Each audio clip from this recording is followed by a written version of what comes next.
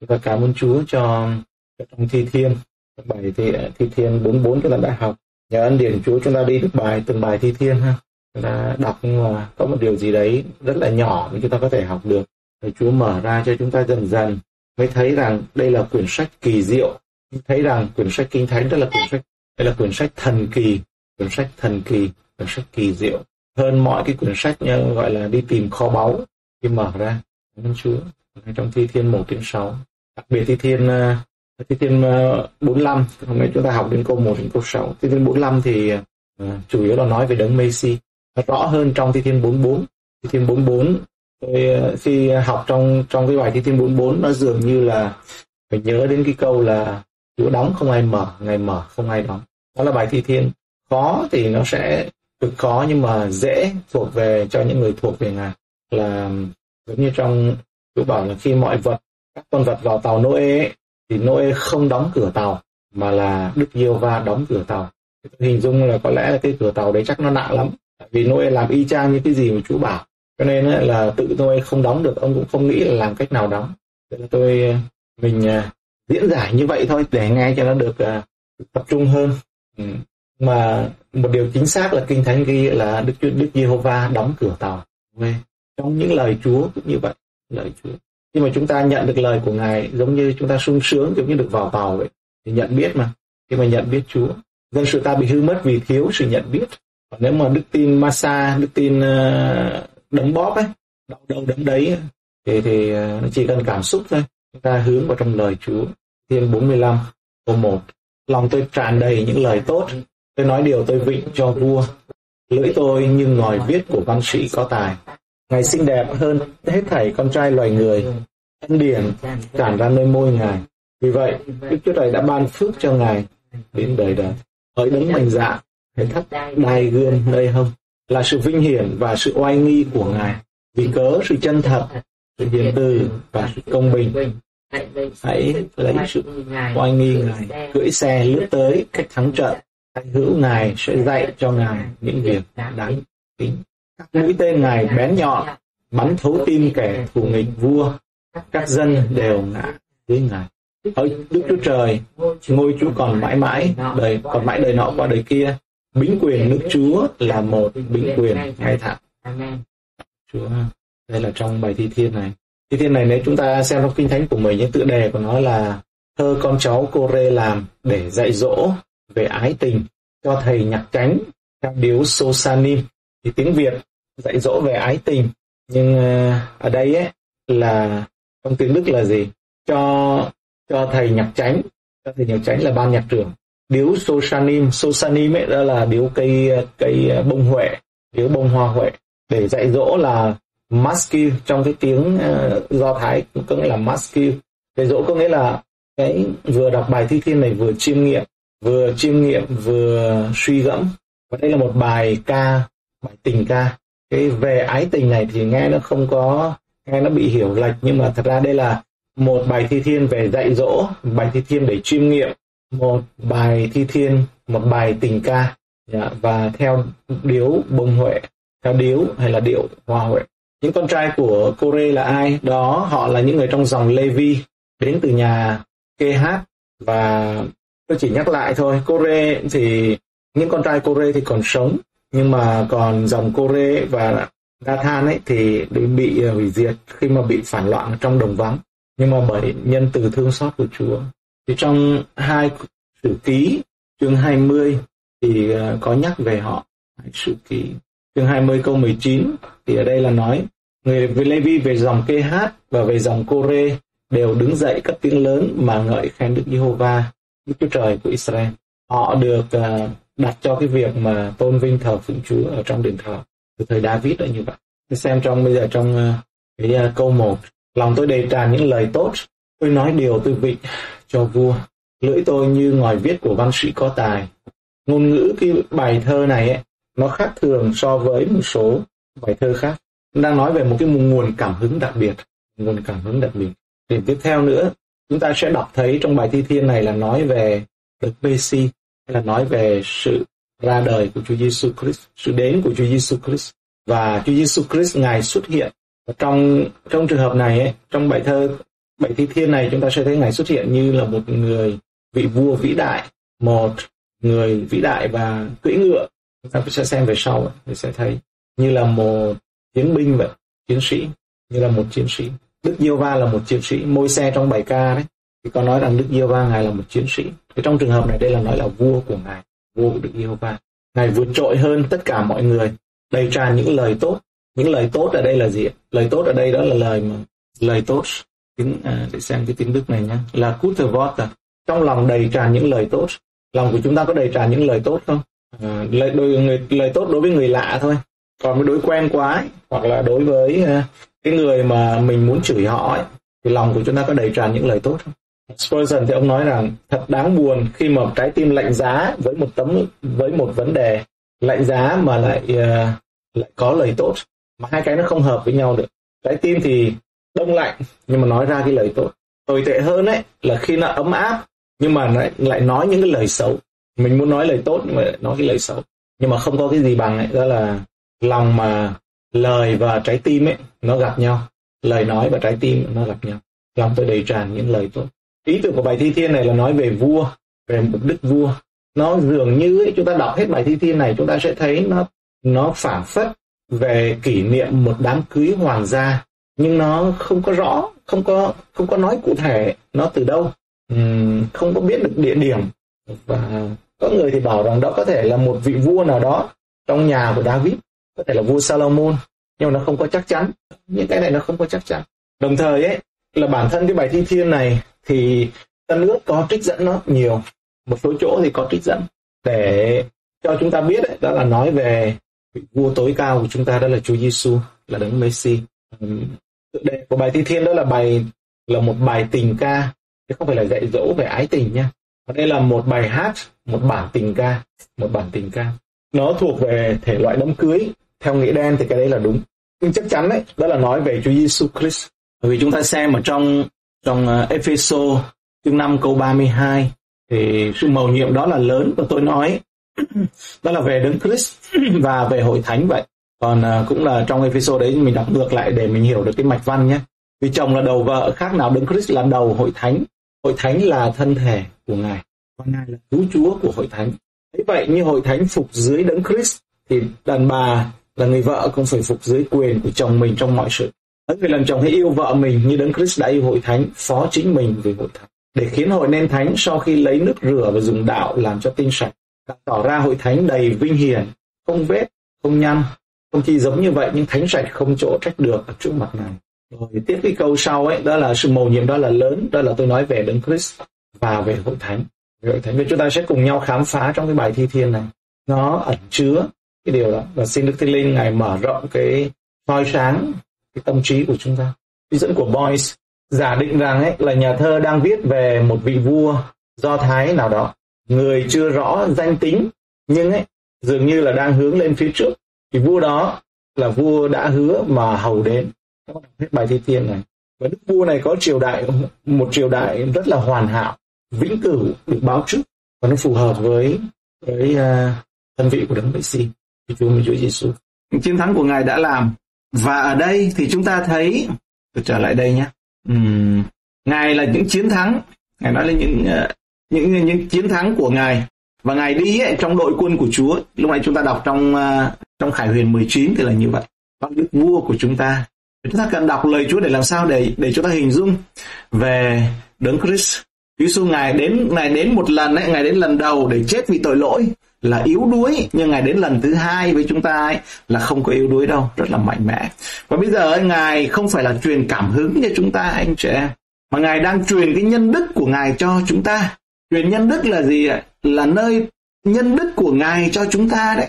Cái sự mạnh mẽ trong trong những bông trái đức thánh linh yêu thương vui mừng bình an kiên trì nhân từ hiền lành trung tín mềm mại và tiết độ.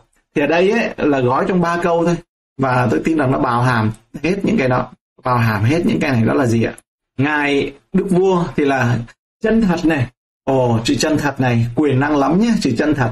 Chúng ta cần phải biết được rằng ấy kinh thánh nói gọi ấy, là mọi người đều nói dối. Bởi vì sao? Bởi vì mọi người đều phạm tội. Cho nên trong lòng nó đều có một chút nào đó nó dối trá. Kinh thánh nói cho chúng ta biết cả cựu ước và cả tân ước là mọi người đều nói dối. Tại sao nữa? Đó là sự chân thật nó đến từ nơi Đức Chúa Trời mà thôi. Đến từ nơi Đức Chúa Trời mà thôi. Và khi được ơn ở trong Chúa chúng ta thấy có những nơi mà Chúa nói là sự chân thật từ dưới đất mà nhú trồi lên, đâm trồi lên, từ dưới đất đâm trồi lên. Khi được chào mừng, khi được bước đi. Sự chân thật là một sự giải phóng. Và linh hồn của chúng ta sẽ được giải phóng khi chúng ta có những bông trái thánh linh. Mình nói bông trái thánh linh dường như là cái mà chúng ta hái để hưởng. Mà đây hãy nên nhớ rằng ấy, nó nó trở thành phần của chúng ta đó là nhân đức của Ngài. Ngài không đến truyền cảm hứng cho chúng ta anh chị em nhé. Ngài đến truyền cho chúng ta được trở nên giống như hình bóng của con Ngài là Giêsu Christ. Vì cớ sự chân thật, sự hiền từ, sự hạ mình nhạy và sự công bình của Chúa. Có phải chúng ta ăn năn để làm gì ạ? Có phải chúng ta ăn năn để mà chúng ta nhận sự công bình của Ngài không? Yeah. Một con người đang đang bị ung thư về tâm linh, đang bị uh, đang bị uh, uh, bệnh lao về tâm hồn thì ăn ăn với Chúa và để mà sao nhận được sự chữa lành trong tâm linh, trong tâm hồn. Và bắt đầu ấy, Chúa trang bị cho. Đó là những cái những cái nhân đức của ngài. Đến với chúng ta không phải là đắp vào, mà là ngôi lời trở nên xác thịt.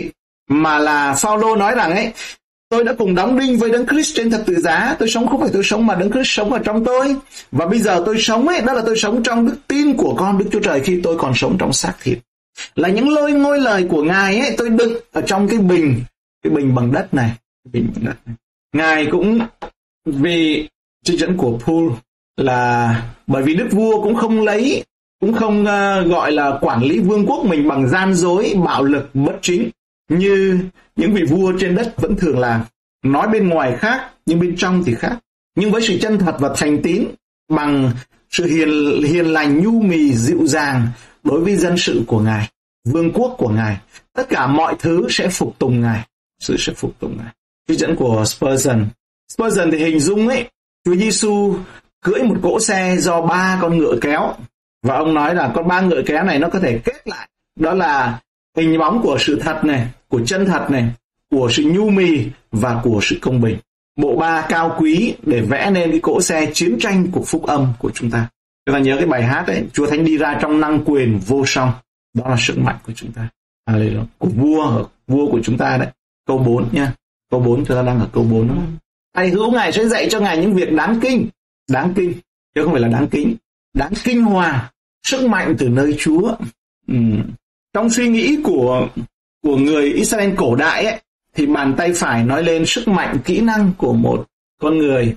Hầu hết mọi người đều thuận tay phải cho nên ờ, trong thầy cổ ngày xưa người ta khi mà nói đến sức mạnh mà đến kỹ năng mà của Đức Chúa Trời ấy hay là của Đức Vua ở đây ấy, thì nói rằng đó là tay hữu của Ngài sẽ dạy cho Ngài những việc đáng kinh. Chúa Giêsu của chúng ta thì sao? Mình thấy đó là cũng có thể học được những điều tuyệt vời qua cái tay phải của Ngài. Hebrew chương 5 câu 8 nói gì? Dầu Ngài là con cũng đã học tập vâng lời bởi những sự khốn khổ mình đã chịu, bởi những sự khốn khổ mình đã chịu. Nói về Chúa Giêsu Christ thì Ngài đã học sự vâng lời qua những điều Ngài đã chịu. Chúa Giêsu đã học cách thực hành vâng lời trong những sự thử thách khói lửa về sự đau đớn của mình. Bài tập sức mạnh tập ở trong về quyền năng của Ngài và là một trong những điều tuyệt vời mà Ngài đã học được. Chúng ta trở lại đây cái câu này nói ý nghĩa tiên tri về đấng Messi của chúng ta. Tay hữu Ngài ấy sẽ dạy cho Ngài những việc đáng kinh. Mà bên trên thì nói rằng chân thật, nhu mì, hiền từ, nhu mì, khiêm nhường, công bình, đó là sức mạnh. Vì vậy Chúa Giêsu nói rằng hãy những ai mệt mỏi và nặng gánh như thế đến cùng ta, ta cho các con được an nghỉ. Hãy mang lấy của ta học theo ta. Hãy vì ách ta và hãy học theo ta vì ta có có lòng nhu mì và khiêm nhường bởi vì ta có lòng nhu mì và khiêm nhường đó là sức mạnh một cách nhìn khác là sức mạnh anh chị em vì vậy nếu như chúng ta tin về tin lành chúng ta tin vào vương quốc của đức chúa trời thì trong vương quốc của đức chúa trời có một hoạt động về sức mạnh khác với chúng ta nhìn thấy không phải bằng xe tăng bọc thép, mà bằng đó là chân thật, bằng sự nhu mì, bằng sự công bình. Nhưng mà không phải của con người gọi là lễ nghĩa, mà là đấy xuất phát từ Chúa Giêsu những bài học mình phải lấy trực tiếp từ Chúa Giêsu từ nơi nguồn sông nước của sự sống của Chúa Giêsu nguồn sông đó nó trào ra trong chúng ta. Đó là sự giải phóng. Nếu như chúng ta tiếp nhận Chúa Giêsu có nghĩa là tiếp nhận gì ạ? Những nhân đức và chúng ta học để mà biết được cái sức mạnh đó không phải là sống cho mình nhưng mà sống cho ngài để làm ánh sáng cho Chúa dưới thế gian này dưới thế gian này. Chúa không gọi chúng ta để sống cho mình nhé. Chúa gọi chúng ta để sống cho ngài. Các môn đệ mới hỏi rằng ấy đó là chúng tôi theo ngài thì chúng ta đã bỏ tất cả mọi sự mà theo ngài thì được gì? Chúa bảo không. Chúa bảo rằng ấy đó là những kẻ mà các người theo ta bỏ tất cả mọi sự về nhà cửa cha mẹ anh chị em ruộng vườn ấy thì được trong đời này một trăm lần hơn về những điều đó và đời sau thì được sự sống đời đời. Đó cái, cái trật tự và cái thứ tự nên chúng ta thấy và tôi muốn nói đây ấy, để là không phải là truyền cảm hứng không phải là học bài học đạo đức không phải là để học làm lành mà là có một sức mạnh trong sự chân thật có một sức mạnh trong tình yêu trong sự hiền từ. Và con người chúng ta biết được những người tinh ý họ biết được giữa cái lưỡi cái miệng của mình nói và cái lòng của mình ấy người tinh ý biết được. Bởi vì sao? Châm ngôn nói rằng ấy mặt dọi mặt trong nước thể nào thì lòng người đối với lòng người cũng như vậy. Lòng người đối với lòng người cũng như vậy. Nếu chúng ta muốn khôn ngoan và muốn được tự do. Thì thì yeah. Và Chúa nói là, ta là ánh sáng của thế gian này. Chúa đang nói trong ánh sáng ban ngày, ban mặt. Mọi người, nhưng mà Chúa lại bảo, ta ánh sáng của thế gian này. Có một ánh sáng không nhìn thấy, có một ánh sáng không nhìn thấy. Ai đi theo ta không phải trong nơi tối tăm nữa, nhưng có ánh sáng của sự sống. Câu năm, các mũi tên của ngài bén nhọn, bắn thấu tim kẻ thù nghịch vua, các dân đều ngã dưới ngài.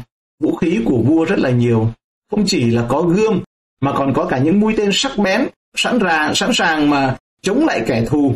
Và sức mạnh của ngài ấy là khiến cho quy phục. Bởi vì chúng ta nhìn thấy được rằng ấy là vương quốc của vua của chúng ta là Chúa Giêsu ấy. Từ khi ngài đến cho đến nay, nó đã lan tràn ra khắp thế giới này. Lan tràn ra khắp thế giới này. Chúa Giêsu đã bắn những mũi tên của ngài vào trong tim và trong tấm lòng. Và những mũi tên đó rất sắc bén. Nó có thể đâm xuyên qua, xuyên thấu qua gọi là những người cải đạo, những người mà trở lại tin Chúa. Khi mà giảng tin lành, Führer giảng tin lành ấy, cho những người, cho những người mà họ tin Chúa đấy, thì ở trong ờ, công vụ của sứ đồ chương 2 câu 37 ấy, thì nói rằng ấy, là những, chúng nghe bấy nhiêu lời thì trong lòng cảm động, bèn hỏi Führer các sứ đồ rằng, chúng tôi phải làm gì? Nhưng mà cái nguyên nghĩa trong câu này ấy, là những cái lời đó nó thấu tim nha, những cái lời đó nó thấu tim, nó xuyên qua tấm lòng. Những cái lời, đó là những mũi tên của Đức Thánh Linh ấy. Ở đây nói mũi tên của vua đấy. Hay là trong công vụ chương 7 thì nói rằng chúng nghe những lời Ê Tiên nói thì giận hoảng tức là nó nó giống như đối với những người vô tín ấy thì nghe là giận và tức và ghét và thù ném đá Ê Tiên bởi vì những lời đó nó đâm thấu vào trong lòng những mũi tên của đức vua những mũi tên này ấy cũng được nói đến số nhiều nói đến số nhiều nhé đó là những mũi tên này đó là số nhiều chứ không phải số ít số nhiều các mũi tên đó là số nhiều bởi vì ấy, có những mũi tên kết án Đức Thánh Linh đến kết án thế gian về tội lỗi, về sự công bình và về sự phán xét. Nhờ Đức Thánh Linh cáo trách mà chúng ta biết mình là một tội nhân. Không ai chỉ tội chúng ta được hết ạ. Không ai chỉ tội được. Nhưng mà Đức Thánh Linh đến cho chúng ta biết mình là một tội nhân. Có mũi tên của công bình, có mũi tên của sự kinh hoàng. Cho chúng ta biết rằng có thiên đàng và có hỏa ngục. Chết không có là hết. Con người là qua đời thôi. Đời người như một chuyến đi mà thôi. Nhà như, như một cái trạm mà thôi. Đứa bé nó nghỉ trong lòng mẹ 9 tháng 10 ngày để sống, tôi tạm gọi là 70 năm 90 năm, sống một cái thời gian như vậy. 70 năm 90 năm là một cái trạm tạm rồi trong cái đời tạm này để có một sự đời đời. Cho nên ông bà chúng ta gọi là qua đời. Nên con người chúng ta vẫn thường có những, mà trong, thậm chí trong trong trí kê trong mọi cái nó đều có gọi là đi tìm thuốc trường sinh bất tử. Hoặc là đi tìm một cái điều gì đấy, nhưng mà nó không phải nguồn từ Chúa thôi. Thực sự nó là từ nơi Đức Chúa Trời đấy. Trong khi có những mũi tên để giết chết những tội lỗi. Khi mà con cái ngài nhận những lời Chúa đến ấy thì lời đó sẽ đâm đâm gọi là thấu những cái tội lỗi đó. Giết chết và có những người ấy, khi tin Chúa rồi phép lạ làm luôn đấy là không hề nói tục được nữa. Không hề nói tục được nữa. Rồi giết chết những sự mà chán nản và tuyệt vọng. Đó là những cái và cái sự mà bất an sự lo sợ cũng là một tội lỗi. Sự lo sợ cũng là một tội lỗi. Những mũi tên trong lời Chúa mà khi chúng ta nhận thì dinh dưỡng từ lời Chúa vào nó có những mũi tên mà giết chết cái hy vọng của xác thịt của chúng ta giết chết những cái sự đam mê trong thế gian của chúng ta. Đam mê của mắt, đam mê của xác thịt và kiêu ngạo của đời. Và cũng có những mũi tên ấy, giết chết những cái sự ghiền, những sự nghiện. Những sự mà, những sự mà con người chúng ta, ai cũng có những cái điểm yếu đó. Có những cái điểm yếu đó. Những cái điểm yếu nào đó thôi. Nhưng chúng ta không phải cái việc mà chúng ta sửa chỗ này, sửa chỗ kia. Nhưng mà đây là lời của Chúa đến để mà để mà nhắc chúng ta ra. Sức mạnh lấy từ đâu ạ? Nếu không từ trời thì từ đâu? Và đây chúng ta đang nói về đức vua của ngài. Tất cả những mũi tên này đều sắc bén và thấu vào trái tim của kẻ thù, của vua. Trở lại đây chúng ta cần cần nên ờ, xem cái câu kinh thánh ở trong Roma để chúng ta hiểu được rõ về tin lành và kết hợp khi chúng ta học Roma chương ờ, 4 câu 25 mà chúng ta cũng thường biết Roma chương 4 câu 25 thì nói gì? Ngài đã bị nộp vì tội lỗi của chúng ta và đã bị, đã sống lại vì sự xưng công bình của chúng ta. Câu này nói có nghĩa là sao? Có nghĩa là trong lịch sử những người Do Thái, những quân lính La Mã giết Chúa Giêsu, nhưng mà vì sao mà Ngài vậy lên thập tự giá vì tội lỗi của chúng ta? Và một câu kinh thánh khác ấy, nhiều câu kinh thánh khác thì nói rằng ấy xác thịt của chúng ta là nghịch thù với Đức Chúa Trời. Bởi vì những điều xác thịt trong chúng ta là nghịch thù với Đức Chúa Trời, nghịch thù với Đức Vua mà chúng ta đã học ở đây. Cho nên những khi chúng ta đọc kinh thánh ấy là những mũi tên đó ấy, của Đức Vua ấy, bắn vào trong tim của chúng ta khi chúng ta đọc lời Chúa. Và đó là lý do làm cho chúng ta buồn ngủ, làm cho chúng ta hoảng sợ, nói rằng không đọc kinh thánh được. Và nếu như chúng ta nhận rõ được điều này, chúng ta hoặc là hèn nhát, chọn sự hèn nhát, rời khỏi kinh thánh, hoặc là chọn sự can đảm để đi tìm kho báu, để đi tìm trong đời này có một cái kho báu nhất mà chúng ta đi tìm thôi. Chúng ta biết được cái ý nghĩa cuộc sống của chúng ta đó là gì. Hallelujah. Chúng ta thấy đó là những mũi tên. Cảm ơn Chúa. Những mũi tên đâm thủng sự hèn nhát, sự ích kỷ, sự tự ti, sự tự yêu mình. Cái tự yêu mình trong tiếng Việt hơi khó dịch. Nó là narcissismus. Yeah, narcissismus. Đó là một cái triết lý nó bao trùm trong ngày nay. Cái gì cũng cho mình, cho mình. Những mũi tên của vua ấy, các mũi tên này bén nhọn, bắn thấu tim kẻ thù nghịch vua đều ngã dưới chân ngài. Những mũi tên này đã đâm thấu những con nghiện và bây giờ những trường cai nghiện ở tại Việt Nam ấy mà được giải phóng. Những người mà si ra những người mà về chỉ chờ chết mũi tên của tinh lành đâm thấu kẻ thù của vua và họ giống như người chết sống lại vậy được thoát cái cơn nghiện và lại còn đẻ con rồi gia đình rồi con cháu. Mũi tên của đức vua. Mà nếu mà kể ra như vậy thì anh chị em giống như sứ đồ giang nói rằng cả thế gian không chép được hết các cái việc của sự chiến trận. Và trong kinh thánh có nói về sách chiến trận của đức giê-hô-va trong sách đó. Cảm ơn chúa. Ha hallelujah. Chúng ta có đã dừng tại đây. Xin chúa ngài ban ơn và cảm ơn Chúa, Ngài là đấng mạnh mẽ, con cầu nguyện và mũi tên của Ngài cũng hãy đâm thấu sự yếu đuối, sự nhu nhược, sự hèn nhát và sự sợ hãi. Mũi tên của Ngài đâm thấu những sự lo lắng của chúng con, à, à của những cái gì nghịch với Ngài, có thể là từ nơi chúng con chắc. Ngài đâm thấu và Chúa Ngài chiến trận để giải cứu dân sự của Ngài. Chúng con dâng lời cảm ơn Ngài, cảm tạ ơn Chúa. Ngài khiến cho sống lại và cho chúng con được mang thập tự giá đi theo Chúa. Hallelujah. Làm sống lại và chúng con từ chối sự yếu đuối để chúng con nhận linh của thần linh của sự mạnh mẽ bởi vì Chúa của chúng con Ngài đã chết trên thập tự giá nhưng bởi sự yếu đuối của Ngài nhưng mà Ngài rất là mạnh mẽ và quyền năng. Vậy thì xin giúp đỡ vào hôm nay chúng con để cho có thể học được yếu đúng, yếu đuối đúng và mạnh mẽ đúng. Hallelujah. Bởi vì khi chúng con yếu đuối ở trong Ngài, tức là là là đầu hàng với Đức Chúa Trời thì được mạnh mẽ ở trong Chúa, yếu đuối ở trong Ngài. Đầu hàng với Đức Chúa Trời có nghĩa là gì? Là sự cúi mình hơn và có thể rửa chân cho anh chị em mình hơn người khác. Không bị mất gì cả. Nhưng bởi vì đó là Chúa Giêsu đã làm gương cho chúng con. Được mạnh mẽ. Cảm ơn Ngài. Và cho chúng con được nhận cái điều này. Xin giống như tia sáng mặt trời đem mọi cái điều tốt lành cho đất như thế nào. Thì xin ánh sáng từ nơi Chúa, Chúa Ngài chiếu ra trong lòng của chúng con. Hỡi sự sáng của Chúa Giêsu, Ngài chiếu sáng trong lòng của chúng con và đánh thức dân sự của Ngài. Xin thần linh của Chúa, Ngài thổi và giống như những bộ xương khô nào về niềm tin đã quên về những ước mơ và hy vọng và niềm tin gọi là đi chỉ đi theo mà thôi, ngắc ngư mà thôi. Không còn sự sống, không còn truyền được cho ai nữa. Xin Đức Thánh Linh của Chúa làm sống ở nơi chúng con. Xin hãy làm sống và đánh thức dậy. Đấng đang cưỡi trên cỗ xe của vua mà gọi là chân thật, nhu mì và công bình. Xin cứu dân sự của Ngài và dẫn chúng con đến nơi an nghỉ, giống như Ngài đã làm đối với dân Israel vậy. Có thể chúng con chưa thấy câu trả lời và chúng con được quy phục và bước theo Ngài, dẫn chúng con đến trong nơi bình tĩnh, trong nơi bình yên.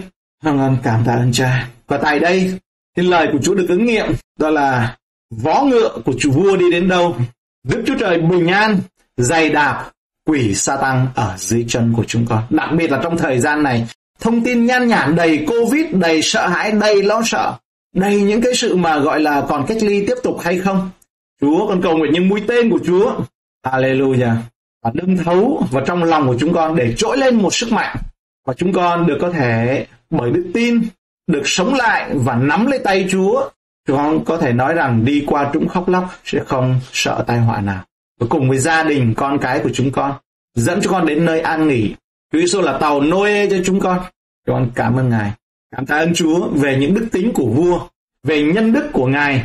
Và Ngài đến để rao giảng nhân đức và cho chúng con nay học được dâng vinh hiển cho Ngài. Nhớ đến dân sự anh chị em chúng con từng người một, từng người già một, xin nhớ đến người lớn tuổi cha mẹ anh chị em của chúng con, đến con nhỏ của chúng con, đến bầy chiên của Ngài. Chúng con cảm ơn Ngài không thay đổi, thì giống như thời ngày hôm nay, thì Ngài cũng nhớ đến và một linh hồn quý hơn cả thế gian. Vì vậy mà Ngài đến để Ngài cứu chúng con. Chúng con cũng thưa với Ngài không xứng đáng, nhưng mà Ngài lại coi chúng con là quan trọng. Xin Ngài thương xót và cho chúng con được trở lại với tin lành của Ngài. Chúng con sẽ nhận biết dấu hiệu đó, chúng con sẽ ca ngợi Chúa khi chúng con đọc Kinh Thánh. Khi chúng con sẽ có sức mạnh để leo núi để đi tìm kho báu, đó là núi của Đức Giê-hô-va. Không như ngày nay nghe những những tin lành massage, những tin lành đấm bóp, những tin lành pha loãng. Xin Chúa Ngài cứu chúng con. Hallelujah. Chúng con muốn ở, ở trong hội thánh của Chúa, không phải là hội thánh của con dâm phụ. Chúng con cảm ơn Ngài.